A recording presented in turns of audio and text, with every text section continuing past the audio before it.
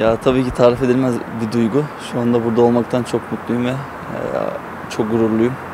E, tarif edilmeyecek bir duygu şu anda. Tabii ki e, şimdiden itibaren buraya geldiğimden itibaren e, bu formanın değerini ve ağırlığını daha iyi anladım.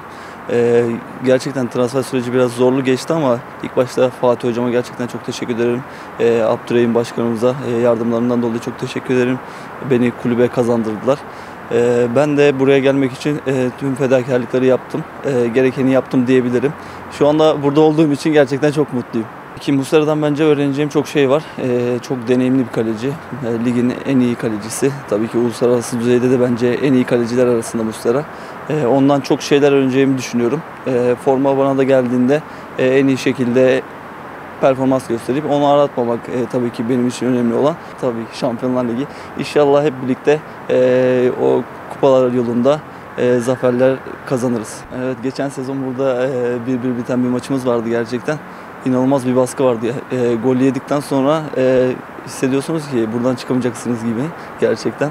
E, onlara da ayrıca teşekkür ederim. Ben gelmeden daha bana desteklerini gösterdiler.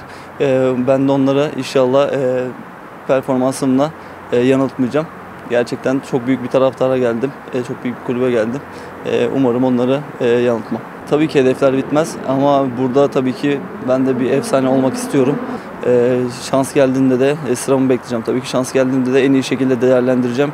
E, buraya layık olduğumu göstereceğim. Ondan sonra e, umarım uzun yıllar bu formayı terleteceğim. İlk Galatasaray formam değil ama en özeli bu oldu. Aa, Çok iyi. bunu yazın. Başlayın. Bak iletişime kaleciliği bıraktığında tamam.